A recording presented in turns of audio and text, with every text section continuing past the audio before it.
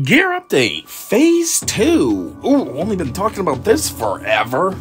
I mean, when did this, seriously, when did they last bring this up? It was either in the beginning of this year they mentioned it, or sometime last year, another finally mentioned, they're only mentioning it, actually. They're not even, they're not even doing it yet. They're just telling us about, oh, though this is gonna happen. Still not doing it yet, though.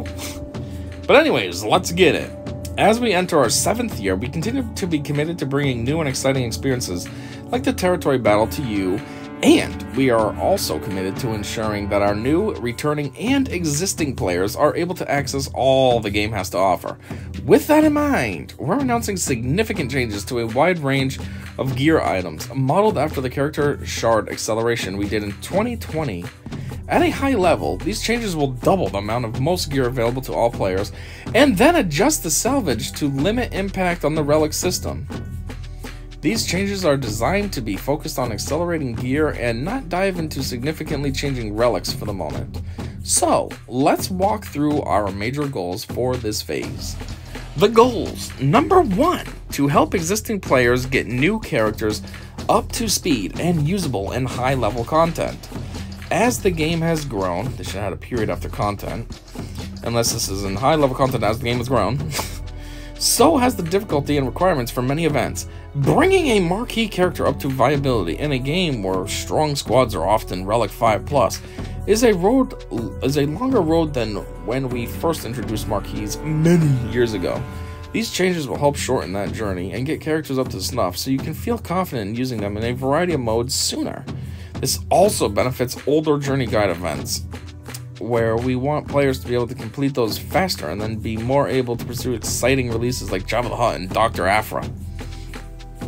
Well, I feel what they're saying at the top here. They said, you know, bringing a marquee character up to viability when most strong squads are at least Relic 5 is a longer road than first introduced. Yeah, because way back in the day, way back in 2015 when this game first came out, um, the max gear level was like gear 10, I think. Yeah, it was gear 10. So, you know, getting a character from brand new up to gear 10 is a lot faster and easier than getting that brand new character up to Relic 5.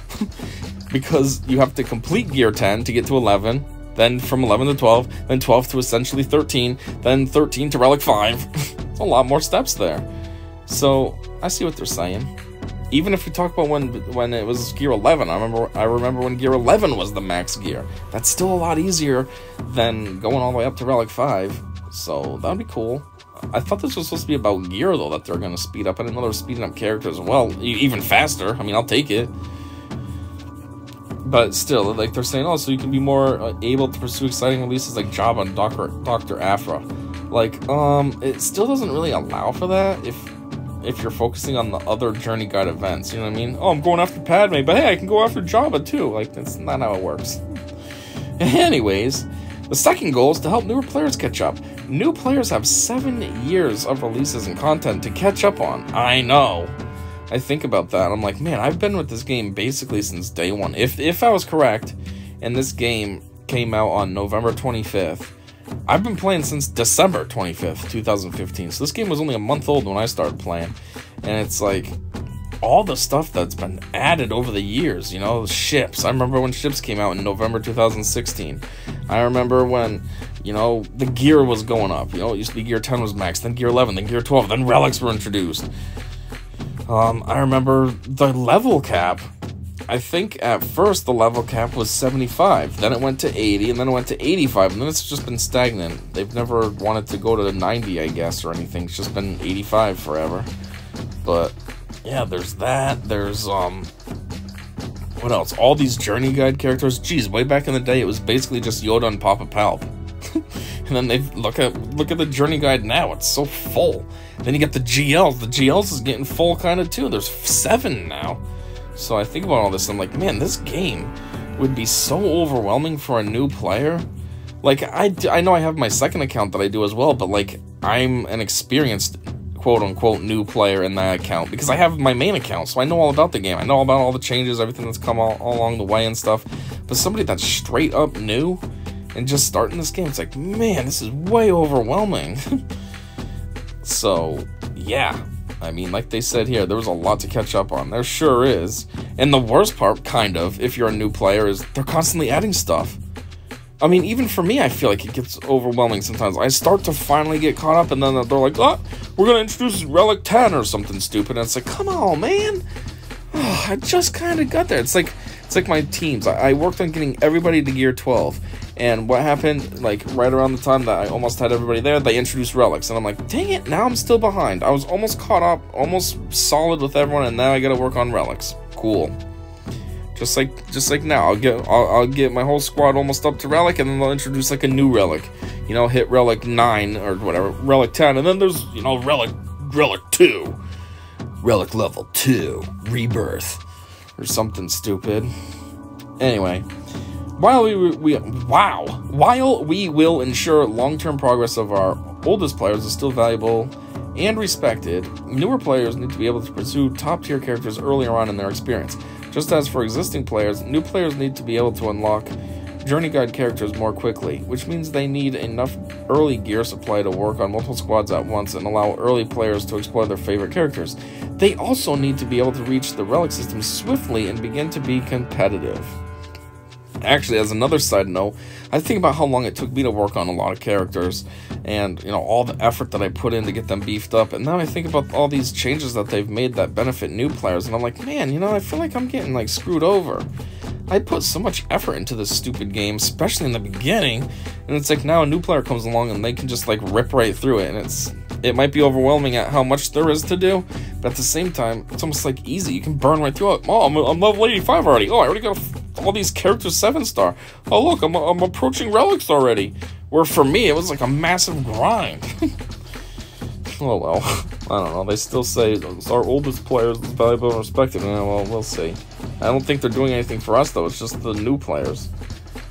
Anyhow, some of the details on how this is supposed to get all better. All gear items below Gear 12, this excludes MK12 ArmaTek and MK12 Czerka items, the suite of purple items only used in G12 recipes, and injectors in addition to Kyrotech. I don't know what any of this means. I mean, they might as well just put it in a different language. What did I just say? Those are just words. we'll see their quantities doubled on most nodes, events, shipments, bundles, and packs. All PvE... Wow, why do I keep talking weird? All PvE nodes. Light, Dark, Fleet, Normal, and Hard. Raid rewards, Mythic, Assault, Territory battles. Gear prize chest will increase quantities of only the targeted items. Grand Arena, Territory Wars, Galactic Challenge, Conquest, End Crate, Milestone prizes, Old Journey Guide events that award gear, such as Jedi Knight Luke and Jedi Knight Revan. Quests, achievements, quantities available in most shipments, see below. Uh, this would be crystals and most other currencies such as guild event tokens, shop current, uh, shard shop currency, etc. But it does not include conquest currency. Any packs and bundles with the targeted items, Hyperdrive bundle will be half price permanently once this update goes live. The amount of gear will, will remain the same. Oh, so it'll be 50 bucks now forever instead of 100. I guess they sold enough, so they're like, yeah, I guess I guess nobody's really buying these, so 50 bucks will work, you know, cut our imaginary losses. Excluding the Hyperdrive bundle, all packs and bundles will reward twice the amount of items for the same price. Ah, yeah, so this one, the Hyperdrive stays the same, but it's half price. Everything else is the same price, but reward, rewards double.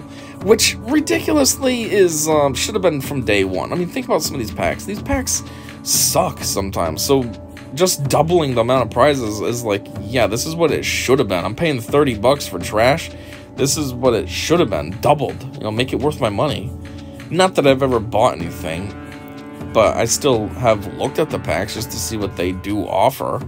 And nothing ever was jumping at me like, oh my god, I gotta do that. The only time I ever put real money into a game was when I used to play uh, Haypi Monster, however you say that, H-A-Y-P-I. They had this bundle for Christmas one year. This was years ago. Probably 2016 or so. 2017. Actually, no, it would have been before that. Maybe 2014. And um, it was a hundred bucks, which I wasn't a fan of, but they gave you so much. You got a an exclusive character, you got tons of gear, tons of everything. It was well worth it. I was like, okay, it's expensive, but it's worth it. But most of these, these suck. Even the hyperdrive is just kind of mid. Yeah, okay, it speeds things up for a new player, but I still don't even feel like it's that, that juicy. Your characters can only get up to, what is it, gear 7 or gear 8 or something, so it's like, okay, they're not even really that viable in the grand scheme of things. Anyways, not adjusted by these changes. Gear challenges will remain unchanged. These were adjusted previously. Daily activity gear rewards. These were adjusted previously. Any places that reward Gear 12 only items. All that crap are unchanged. List of gear not affected by these changes. So spoiler, it's not really a spoiler, let's just get it. Okay, boring, boring, boring. Cool, yep, boring. Oh my god, it's a long list. This is all the stuff not affected by it, so what they do? Change nothing? Other changes. Gear acceleration items will have their salvager conversion to relic materials reduced by 50%. Helps ensure those changes accelerate gear but re remain net neutral to the relic system. What? Gear acceleration items will have their salvager conversion to relic materials reduced by 50%. Oh, so is that the pain in the dick ones? Like those there's one that you need 20 pieces. Oh no, no. Is it 20 pieces? No, 10 pieces to get one piece. So is that going to be 5 now? That'll help. The shipment prices of these goods will be will, ah, will be reduced by 50%. Conquest currency prices for these gear items are not changed. We plan for new marquee bundles going forward to begin offering more gear at the established prices, making it easier to get a head start on new characters. I'm hoping, oh wow, I don't know where I saw hoping from. I'm sure one of the first questions many of you are asking after reading this is when are all these changes happening? well, kinda. I mean, you have been talking about this for a long time now. I mean, at least you have a game plan lined, uh, laid out, but like, when's it gonna go into effect? Anyhow, while there may be further changes to gear in the future as we closely monitor the impact, all of these changes will be released alongside the new territory battle in December. Okay, so we also have a release date for the new territory battle. It's next month. I don't think they said that yet, but now we know. Getting to G10 and G12 will be a smoother experience, and your characters will be up and running faster than ever. We will monitor the effects of these gear changes very closely to ensure they have the effect we intended and make future changes as needed. We hope you are excited for these changes and you feel the impact in your day-to-day -day experience. Getting to G to G10 to G12 will be a smoother experience. Oh, but G12 to Relic is still gonna be a pain in the dick. Ugh. Hey, getting there faster, does that mean you're gonna do something with the oh man, what are they called? The Chirotex? I don't know. I'm not gonna go back up and reread that.